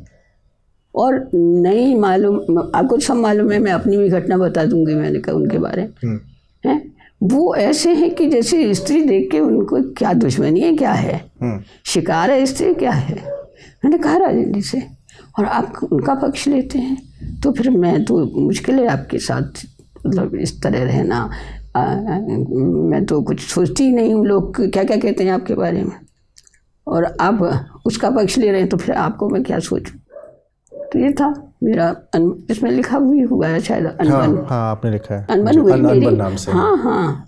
फिर मुझे मैं मुझे फ़ोन करते थे मैं नहीं उठाती थी फिर डॉक्टर साहब को फ़ोन करते थे। ऐसे के बोलते थे, वो डॉक्टर साहब, मर गई डॉक्टर ने क्या? ज़िंदा है कि नहीं? है, वो फ़ोन नहीं उठाती है मेरा। लेकिन मैत्री जी, जिस स्त्री विमर्श या फिर जिन स्त्रियों को केंद्र में रखकर उनके लिए लड़ने या फिर उनको बराबरी का दिखाए जाने की आप लगातार पैरवी करती रही हैं और हमेशा उन लोगों पर सवाल उठाती रही हैं जो कि उसके ख़िलाफ़ रहे हैं, राजेंद्र यादव के मामले में आकर आप कहीं ना कहीं झुकी हुई महसूस, झुकी हुई दिखलाई देती हैं। उन्होंने कहा, आपने मान लिया। हाँ ये मा, ये कह सकते हो तुम कि उन्होंने कहा, मैंने विश्वास किया। हुँ? और मैंने विश्वास इसलिए किया कि मैंने उनको, उनसे व्यवहार करके देखा था। हैं? और कई बार तो मुझे लगा, देखो, एक बात राजेंद्र यादव किसी स्त्री से ज़बरदस्ती नहीं कर सकते थे। तुम भी जानते हो, मैं भी और दुनिया जानती है। वो इतने सक्षम नहीं थे। फिर भी इल्ज़ाम। अब फिर अगर वो कुछ ऐसे इशारे भी दे रहे हैं तो आप मत जाइए वहाँ। आप जाएँगी भी वहाँ, छपना भी चाहेंगी वहाँ, फिर कहेंगी, ये बात आई कैसे? गए तो हम भी थे। और छपे भी, खूब छपे, लोगों ने क्या क्या कहा? हमसे तो नहीं कहा ऐसा। और कहते भी तो हम उसका जवाब देते। उन्हीं को ये नहीं कि दुनिया में गाते फिरते। और नहीं जाते फिर। इतना तो नुकसान भी उठाना पड़ता है अगर आदमी ठीक नहीं है और यहाँ हमारे बड़े काम बन रहे हैं तो पीछे कदम खींच लो। लेकिन आपको लगता नहीं कुछ चीज़ें आप इस तरह से कह जाती हैं जो कि बहुत नागवार गुजरती हैं या फिर शब्दों पे थोड़ा नियंत्रण करना चाहिए? जैसे आप लिखती हैं कि अनियंत्रित स्त्रियों ने हम्म। साहित्य का बहुत नुकसान किया है। हाँ तो ठीक तो कहा। जिनको अपने ऊपर नियंत्रण नहीं है और सारा वो दोष पुरुषों पे ही डालती हैं तो मेरे ख्याल में अपना दामन भी देख लेना चाहिए, अपने आप को भी देख लेना चाहिए कि स्त्री को बड़े सतर्क होकर चलना पड़ता है, कितना आगे बढ़े, कितना पीछे, कितना उसका नज़दीक जाए, है ना? अब मैंने देखा गया, गलवैयाँ डाले खड़ी हैं राजेंद्र के ऑफ़िस में उनके गले में हाथ डाल के खड़ी हैं फिर वो लिफ्ट नहीं मिलती क्या? फिर आप आगे लिखती हैं कि आपको ये तय करना पड़ेगा आपको बिस्तर चाहिए या किताब? हाँ हाँ ऐसे भी तो वाकई मैंने वहीं देखे। मैं कहीं से और से नहीं देख के आई। मैंने वहीं देखे हैं। किताब जब होगी होगी बिस्तर ठीक है? है ना? वहीं देखें और कई वाक्य सुने हैं तो सुनने पे मैं इतना नहीं विश्वास करती कि सुनी सुनाई बात। फिर आप और आगे बढ़ती हैं फिर आप कहते हैं कि साहित्य में हुस्न नहीं हुनर चाहिए हाँ बिल्कुल। बिस्तर नहीं किताब चाहिए। बिल्कुल। ठीक तो मैंने फेसबुक पे लिखा था तुम वहीं से लाए हो। है ना? फेसबुक पे लिखा था कि जो अपनी खूबसूरती दिखाती आती हैं हम्म, कि आपके अगर ऑफ़िस में आए तो पूरा ऑफ़िस में महक जाए सेंट से। पूरा वो और लटके झटके वो मैंने सब देखा है। हाँ? तो ये साहित्य की डगर तो बहुत वैसी है खुदरी है। वहाँ रेशमी नहीं चलता, है ना? तो वो तो अब कैसे पहले लोग भी कह गए, बड़ी तपस्या करनी पड़ती है, ये है, वो है। तो हुस्न चलता है क्या वहाँ? सौंदर्य चलता है क्या वहाँ, स्त्री का? वहाँ कलम चलती है। और आगे मैं बढ़ रहा हूँ। आप लिखती हैं कि यश का भूत इतना सवार है कि हमने क्या लिखा है इससे ज़्यादा है कि हमने क्या पाया है। हाँ यही होता है। ज़्यादातर लेखक लेखिकाएँ जो भी हैं मैं अपनी भी बात कहूँ तो आ, मैं भी देखूँगी कि मैंने क्या पाया लिख के हैं? और ज़्यादातर ये सोचते हैं, हमने एक दो कहानी लिख दी तो हमने साहित्य लिख दिया पूरा और हमारा ये होना चाहिए मतलब हमारा ज़िक्र होना चाहिए, हर वक्त हमारी पुस्तक की तारीफ़ होनी चाहिए, होता ही है। एक किताब लिखेंगे, दस जगह तारीफ़ करवाएँगे, दस तो उसके लिए भी ग्रुप बने हुए हैं अपने अपने ग्रुप बने हुए हैं। दोस्त लोग हैं, तारीफ़ करेंगे, कोई एक आध दुश्मन निकाले आता है, वो वो, उसकी बुराई करेगा। जो आप कह रही हैं आप इन तमाम चीज़ों के ख़िलाफ़ हैं। आप सवाल उठाती हैं लेकिन कोई आप पर सवाल उठाता है तो वो बर्दाश्त नहीं होता है। और आप ये भी लिखती लिखती हैं कि मेरे अंदर इतना धैर्य भी नहीं है। आपने ये कहा भी है। और अगर मैं इसी को विवाह संस्था से जोड़ कर देखूँ तो आपको उसमें भरोसा नहीं है। और आप कहती हैं कि प्रेमी से विवाह कभी मत करो। हाँ ठीक तो है। मैं कहती हूँ और मैंने नहीं किया। मैं तो लिखा भी है शायद मेरी माँ माँ ने भी कहा। कि उसी से कर ले जो तुझे चिट्ठी लिखता था। मैंने कहा नहीं, वो चिट्ठी लिखने के लिए ठीक है। पति जो हम शादी करते हैं ना, वो एक ज़िम्मेदारी होती है। वो खाली इश्क नहीं होता। वो तो रहते रहते साथ साथ रहते रहते हो जाता है। एक दूसरे की आदत भी हो जाती है। नहीं तो अजनबी से शादी होती है, ज़्यादातर तो। लेकिन जब आप ये कहती हैं कि आपने अपने पति से ये कहा कि आपको जिसके प्रति आसक्ति है आप उसके साथ मिलिए मुझे कोई उसमें आपत्ति नहीं है। आप उसके साथ समय बिताइए। हम्म, लेकिन ये एक्सेप्टेंस अभी समाज में आई नहीं है हाँ नहीं आई। और मैं ये कह रही कोई आपके पति आपको ये इजाज़त दें कि आप अपने प्रेमी से मिलिए। ये एक्सेप्टेंस अभी समाज में नहीं नहीं देंगे ना। मैं कह रही हूँ लेकिन मैंने दी क्योंकि मैं प्रेम को बहुत बृहद रूप में मैं पहचानती हूँ। मैंने मैं देखो एक और बात। ये सच तो ये है कि हमारे रोकने से कोई रुकेगा नहीं, अगर उसका है, लगन है उसकी तो है ना? और ना हमारे कहने से जाएगा। तो क्यों रोको किसी का रास्ता?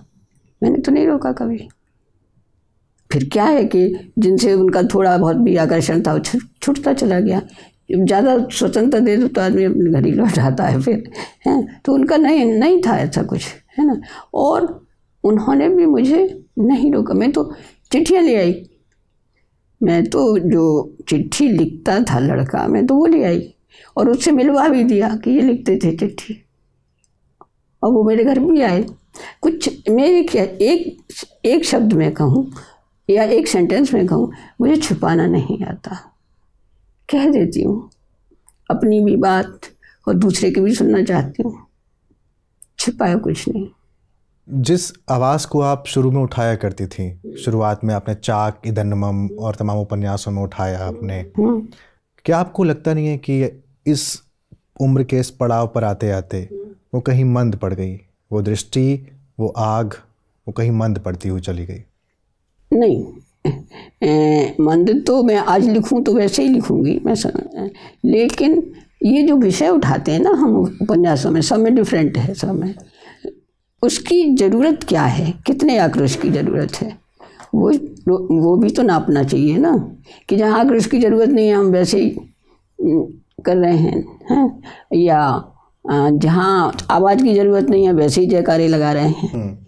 साहित्य में भी जहाँ जहाँ ज़रूरत है इस चीज़ की वही तो रखना होता है। इसलिए। चूँकि आपने साहित्य के उपन्यासों के अलग अलग विषयों की बात की तो मेरा एक सवाल ये है कि आप कई जगह कह चुकी हैं कि अगर आप दूसरी लेखिकाओं के उपन्यास लिखती या कहानीकारों की कहानियाँ लिखती तो वो वैसी नहीं होती। मसलन आपने मित्रों मर जाने के लिए कहा कि अगर मैं मित्रों लिखती तो मित्रों कभी वापस नहीं नहीं नहीं आती। नहीं। या अगर मैं उसने कहा था लिखती तो सूबेदारनी इस तरीके से लहना सिंह से नहीं कहती जिस तरीके से वो बात कर रही है।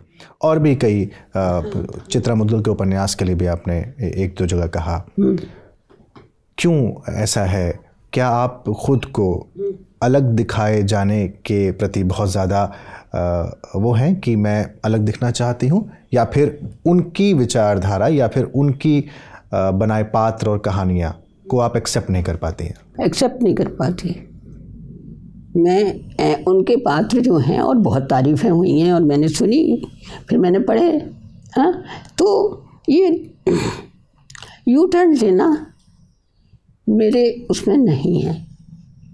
कोई बता दे मुझे। अगर नायिका बढ़ी है, आगे तो बढ़ेगी ही। वो ये नहीं कि लौट जाए।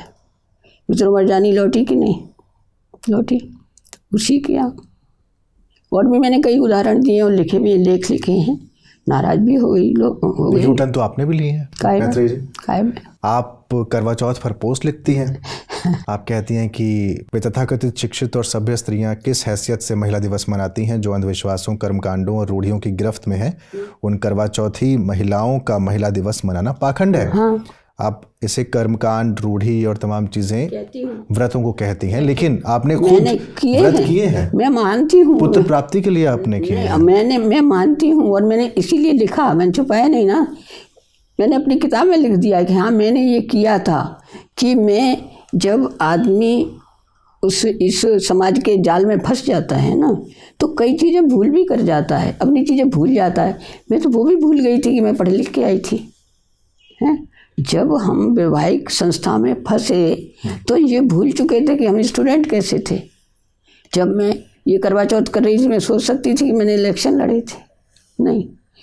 जो स्त्री होती है, लड़की होती है, शादी के बाद उसको बिल्कुल दूसरा संसार मिलता है, उसका जीवन पलट जाता है और वो जो पति मिलता है, वो उसकी आँखें देख देख के चलती है, उसको उसको तकलीफ़ ना हो। हैं?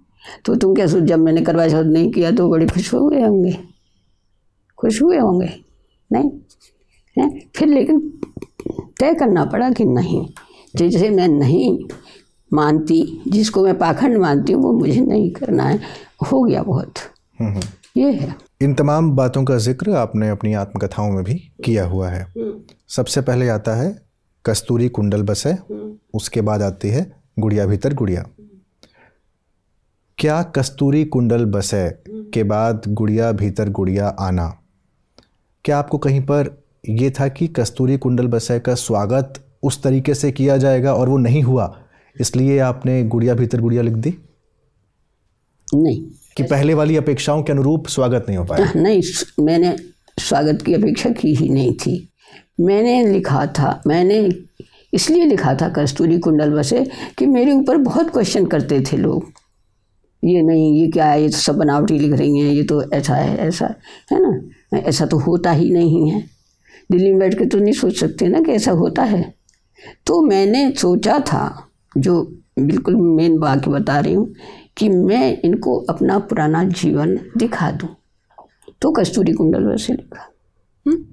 फिर उसके बाद मैंने लिखा कि ये तो आ गया मेरा और हम्म, जो हमारी पाठिकाएँ थीं उनकी चिट्ठियाँ आई? उनके फ़ोन आए कि आप ना हम तो ये चाहते हैं आप लेखिका कैसे? बनी वो बताइए हमें। ये तो हमने पढ़ लिया कस्तूरी कुंडल वैसे ये आया कई जगह से। फिर मैंने सोचा अब मुझे लिखना पड़ेगा कि मैं लेखिका तो गुड़िया भीतर गुड़िया हुआ। कि मैं तो गुड़िया थी उसके भीतर कोई एक और बैठी थी जिसने ये सब लिख डाला। तो ये पाठकाओं के ये तो गुड़िया भीतर गुड़िया तो उन स्त्रियों की मांग पे आया है जिन्होंने मुझसे मांग की थी। ये तो मेरा कोई विचार नहीं था इसे लिखने का नहीं इसका इसके पीछे की एक इंटरप्रिटेशन ये भी है कि गुड़िया भीतर गुड़िया में वो तमाम वाक़ात हैं जो कि आम तौर पर लोग नहीं कहना चाहते हैं या नहीं लिखना चाहते हैं। हम्म। और आप ये चाहती थी कि इस तरीके से कोई कृति आए जिसकी वजह से आप फिर से एक बार चर्चा में भी आए। ऐसा तो मैं नहीं सोचा। लोग मानेंगे भी नहीं। अगर मैं ये कहूँ मैंने ऐसा नहीं सोचा कोई नहीं मानेगा। सब सब यही सोचते हैं कि मैंने अपना नाम बढ़ाने के लिए ये किया। ऐसी बात नहीं थी। मैंने ये सोचा एक दो बात। कस्तूरी कुंडल बसे में तो। शादी से पहले का जीवन है। उसके बाद गुड़िया भीतर गुड़िया है शादी से बाद का जीवन। हम्म। है ना? और उसमें क्या क्या हुआ और लेखन तक कैसे आई ये सब है? हम्म। कई जगह से चिट्ठियाँ आई लखनऊ से आई यहाँ से वहाँ से। वो बता दीजिए। ये आप लेखिका कैसे बनी? तो फिर बताया सब। कैसा जीवन था? शादी हो के आए तो क्या था? कैसे कलम पकड़ी? आप जब ये कहती हैं कि मैं जो लिखती हूँ वो यथार्थ है। मैंने जो भी लिखा वो तमाम चीज़ें यथार्थ है कुछ भी कल्पना उसमें नहीं है। अगर वो कुछ भी कल्पना नहीं था फिर आपको आत्मकथा लिखने की ज़रूरत क्यों पड़ी? अगर आत्मकथा लिखी इसका सीधा मतलब है कि जो पहले आपने लिखा वो उतना यथार्थ नहीं रहा होगा। मैंने तो ये सोचा जो मैंने लिखा है पहले उस पर क्वेश्चन उठते हैं। तो तुम मेरी जीवन भी देख लो। ये लिखा।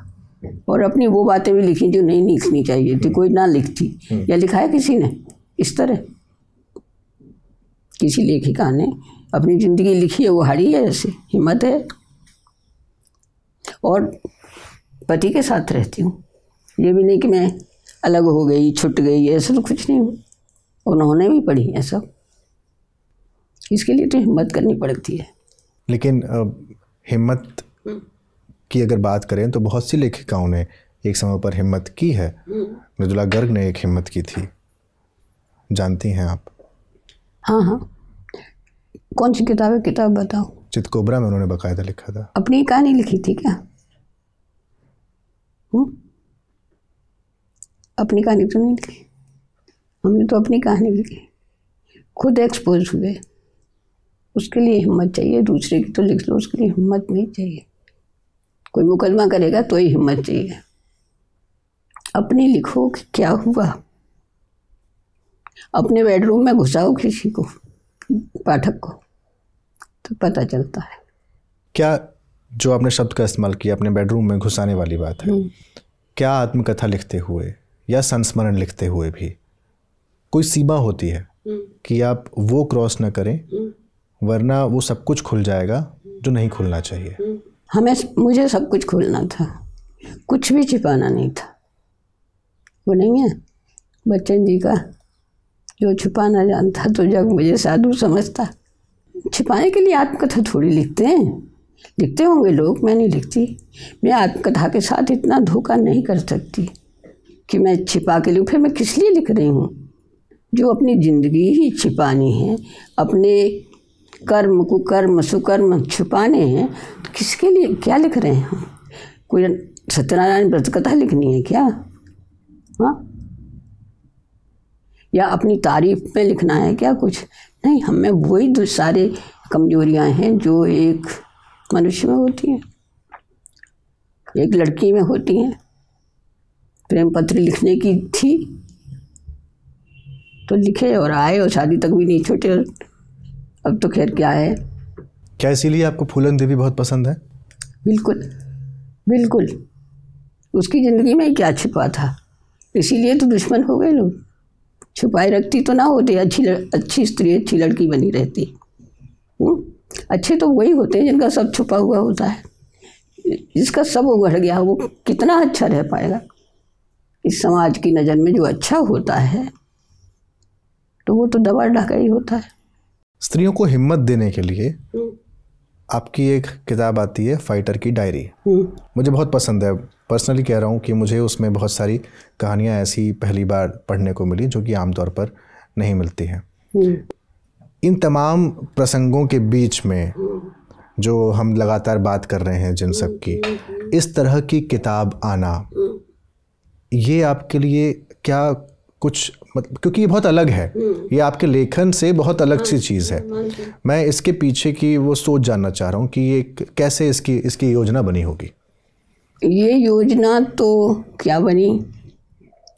मुझे कुछ दिनों के लिए बीच बीच में करनाल जाना पड़ता था पुलिस ट्रेनिंग सेंटर में। हम्म, वहाँ वी एन राय थे विकास नारायण राय। वो मुझे बुलाते थे।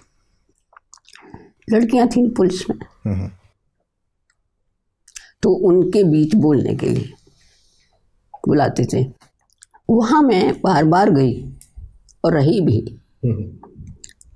तो सोचा मैं स्त्रियों के लिए लिखती हूँ स्त्रियों कहानी लिखती हूँ। तो इनकी कहानी कौन लिखेगा? जो वो बताती थी। एक लड़की उठी और कहते कहते अपनी कथा रोने लगी। तो फिर मैंने कहा मैं आऊँगी तुम मुझे बताना। तो उन्होंने जो बताया मैंने लिख दिया। जो बताया वो लिख दिया। कहीं इसकी योजना वहाँ से तो नहीं बनी थी जब आप विरोध करने के लिए नया ज्ञानोदय के कार्यालय में गई थी और वहाँ पर आपको उसी करनाल की एक पुलिस कांस्टेबल मिलती है और आपसे आपको पहचानती हैं।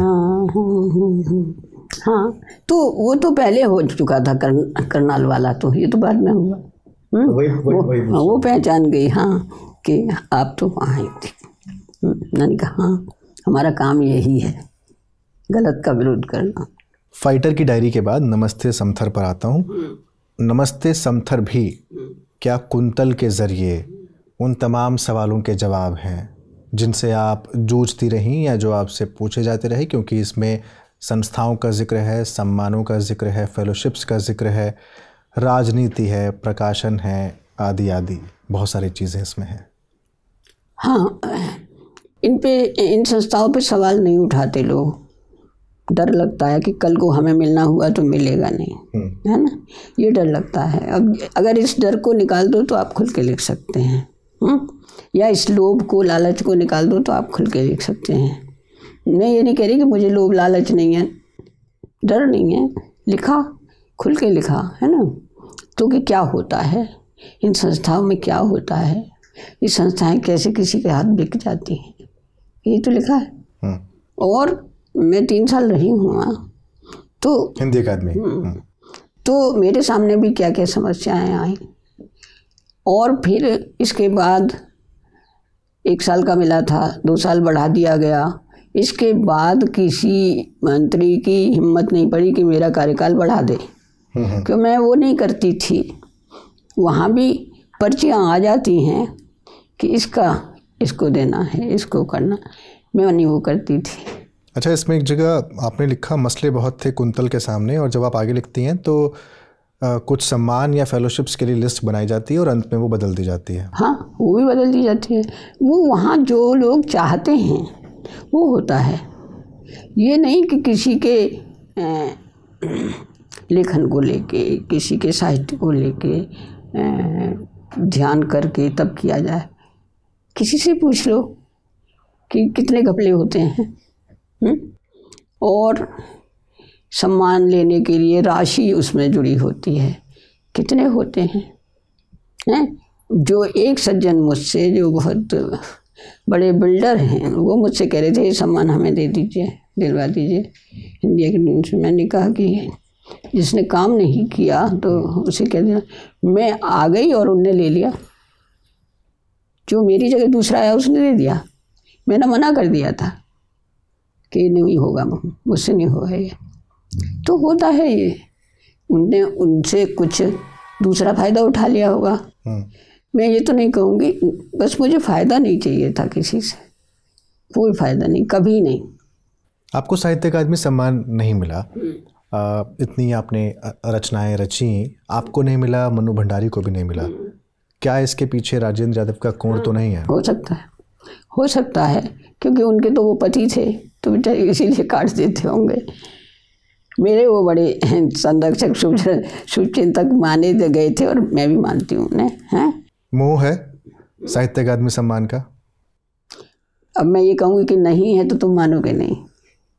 लेकिन मैं कहूँगी मुझे कोई मोह किसी सम्मान का नहीं रहा। कभी जो मिल गए तो अपने आप जो हो गया होगा, हो गया होगा। कभी मुझे पता भी नहीं था, हिंदी अकेडमी का मिला, मुझे नहीं पता था कौन से कौन से मिले, हैं? कहाँ कहाँ से मिल गए। एक पे तो एक लेख लिखा, छोटा सा, उसी पे दो लाख का मिल गया, मुझे ताजुब ही हुआ।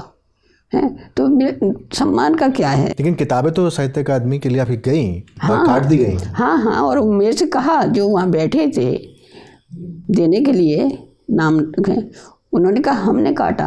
मैंने कहा बहुत अच्छा किया। मैत्रेय हमने काटा। तुम्हारी किताब थी। इसलिए कि मैंने उनके उपन्यासों पे दो पे लेख लिखिया लिख दिया था उनके अगेंस्ट। तो ये होता है ना। तो मैंने कहा ठीक है आपने पुरस्कार ही तो काटा है। मेरा लेख तो कोई नहीं मिटा पाएगा। हाँ तो होता है ऐसा। मैं किसी की शायद फेवरेट नहीं रही और राजेंद्र यादव एक और बात जोड़ती हूँ हाँ। इसीलिए लोग राजेंद्र यादव को ड्यूटी में नहीं रखते थे। साहित्य अकेडमी ड्यूटी में कभी नहीं रहे पता लगा देना। कि आपको ना मिल जाए। हाँ ये मैत्री को दे आएगा। नंबर जी ने तो कहा भी कि ये मैत्री को दे आएगा। ये तो बताओ इस ऐसे पुरस्कार का क्या करे? इतना टुच्चापन है। हाँ। वो ले भी आऊँ मैं यहाँ रख लूँ तो मैं किस नज़र से उस उसको देखूँगी? हम्म। ऐसा है। क्या आप ईर्ष्यालु हैं? मैं? हाँ तो मानोगे ही नहीं मैं ये कहूँ नहीं हूँ। मुझे मैं अपने मन से कहती हूँ मुझे ईर्षा क्यों नहीं होती? मेरे पास हस्बैंड भी कहते हैं कि यार सबका ये ये हो रहा है तुम्हें कुछ नहीं मैं निकाल। ये गुण नहीं दिया भगवान ने मुझे। नहीं होती। लेकिन जब आप सब पर सवाल उठाते हैं तो कोई मानेगा ही नहीं इस चीज़ को कि ईर्ष्या हाँ, नहीं, नहीं होती। हाँ, मेरे लेखन पे बात ना होती और ऐसे ही तो शायद होती। लेकिन काफ़ी जो मैंने लिखा मैंने उम्मीद भी नहीं की थी कि इसको इतना पढ़ा जाएगा इतना सराहा जाएगा मैंने नहीं की थी। क्या बिछोह ने आपको जीवित रखा? किसने? बिछोह ने बिछोह ने मतलब जो बिछड़ना होता हाँ। है किससे जैसे आपकी नायिकाएँ हैं हम्म। वो अपने प्रेमियों के बिछोह में जीवित रहीं या लड़ती रहीं अपने आप से वो भी बहुत बड़ी शक्ति होती है मिलन में क्या आनंद है सारा जो प्रेम का पूरा खाका बिछोह लिखता है है ना नहीं तो पता ही ना चले किसका किससे प्रेम है हम्म। जब बिछुड़न होती है हम्म। तब पता चलता है जो तड़प होती है हम्म। उसी में से निकलती है ना मिलन में तो नहीं कोई तड़प पड़प होती। तो ये है। आलोचकों से खुश रहती हैं या नाराज़? चार आलोचकों का ज़िक्र करूँगा। सुधीश पचौरी नामवर सिंह निर्मला जैन राजेंद्र यादव। बस राजेंद्र यादव को छोड़ के सबसे नाराज़ तीनों से। क्योंकि इन्होंने उनने अपने तरह से न्याय किया होगा लेकिन मैं कहती हूँ कि मेरी तरफ़ से अन्याय किया है। इधर नमम के लिए सुधीश पचौरी ने लिखा अधूरी अहिर कथा। क्या वो अहिरी? इधर अधूरी अहिर कथा है है ना? या निर्मला जैन ने कभी भूल के भी किसी किताब की, के पक्ष में नहीं बोला। भूल के भी। वो जान बूझ के करती हैं। हम्म? उन्होंने राजेंद्र यादव से दुश्मनी थी, मुझसे निकालती थी। हम्म? तीसरा कौन? नाम मर्ज़ी नाम मर्ज़ी ने तो कभी हम नाम ही नहीं लिया। और ना हम उनसे कोई उम्मीद करते थे। ना मैंने किताब मतलब दी एक बार आए थे हमारे हॉस्पिटल में तो इनसे ले गए, डॉक्टर साहब, किताब दे दीजिए मैत्री देती नहीं। तो ये था। बाकी राजेंद्र यादव तो उन्हीं के बल पे हम चल रहे थे। कोई ऐसी बात जो आप कहना चाहती हैं जितने युवा लेखक आपको इस समय सुन रहे हैं जो लेखक बनना चाहते हो? एक रिपीटिशन नहीं होना चाहिए। हाँ, हाँ और लेखन जब शुरू करते हैं तो पढ़ना ज़्यादा पड़ता है। दूसरों को पढ़ो। लोग दूसरों को नहीं पढ़ते। तब आता है। अकल में तब आती है। हम्म। कैसे लिखा जाता है? अच्छा लिखने के लिए अच्छा पढ़ना पड़ता है। बिल्कुल। यही कहना चाहते हैं। और विषय भी वही। मैं तो पहले भी कह चुकी हूँ कि मैं बचती रहती हूँ रिपीट ना हो जाए कुछ। हुँ? हम्म? वो भी नहीं। क्योंकि रोज़ नए विषय आप ले सकते हैं। कुछ ना कुछ घटित हो रहा है। और एक अंतिम सवाल, ऐसी क्या चीज़ है जो मैत्रेयी पुष्पा अभी भी करना चाहती है? या जो नहीं कर पाई और चाहती है कि वो अब करें? लिखने के अलावा। लिखने के अलावा कुछ करने को रह ही नहीं गया। लिखने या लिखने में भी क्या और नया लिखना चाहती हैं? लिखने के अलावा तो अब पढ़ नहीं रह गया है। हम्म। बस यही है। एक प्रेम के ऊपर उपन्यास ज़रूर लिखना चाहती हूँ जो मैंने नहीं लिखा है। जी। हम्म, चलिए मैत्री जी आप स्वस्थ रहें आप प्रेम के ऊपर उपन्यास जल्द से जल्द लिखें। आपने सवालों के जवाब दिए बहुत बहुत शुक्रिया आपने संगत के लिए समय निकाला ठीक है नमस्कार। मैं ये बोलूँ कि तुम मैनी मैं तुमको मैनिपुलेट कर रहा हूँ कि तुम्हारी आँखें चमकती निर्मल ये मेरे कारण। नहीं तुम्हारे प्रेम के कारण आँखें चमक रही हैं। विनोद जी ये सब जो लिखा गया है विनोद जी के कारण लिखा गया। मैं मैं तो बहुत छोटा आदमी हूँ इस मामले में। मेरा जीवन इतना बड़ा नहीं है कि मैं मैं लिखता रहूँ और बारह किताबें भर दूँ और आगे भी और तेरह नाटक लिखे हैं दो फ़िल्में डायरेक्ट की हैं। इतना बड़ा नहीं है मेरा जीवन। सर्वेश्वर सक्सेना की, कविताएँ मैंने कोट की हैं, जो कि मुझे बहुत पसंद है। भवानी भाई को मैं हर जगह खेल जाता हूँ। क्योंकि ये मेरे से अलग नहीं लगते हैं। ये मेरे हिस्से हैं, क्योंकि मैंने उनको जिया है। कई बार होता है कि मैं सिगरेट पीना चाहता हूँ। लेकिन चूँकि मैं खुद सिगरेट छोड़ रहा हूँ और खुद सिगरेट बहुत कम पीता हूँ तो मैं उस इच्छा को लिख देता हूँ कि मैं पी रहा हूँ सिगरेट। क्या मैं कभी भी इतना अच्छा लेखक हो सकता हूँ कि इस दृश्य को वैसा का वैसा लिख दूँ, जो अभी हो रहा है? मुझे लगता है कि कविताओं को समझाना और पेंटिंग को समझाना सबसे ज़्यादा खराब काम है। जब मैं बहुत दूर कितना दूर होता लिख रहा था, मैं बहुत दूर कितना दूर होता लिखना नहीं चाहता था। मैं लिखने भी नहीं गया था। मैं कहानियाँ लिखने गया था जो चलता फिरता प्रेत में थी। आप हर बार शादी कहाँ कर लेना चाहते हैं हर चीज़ से? मतलब एक किताब लिख रहे हैं तो शादी कर लो उससे। फिर आप ना इधर देख सकते हैं, ना उधर देख सकते हैं। मैं नहीं हूँ ऐसा आदमी।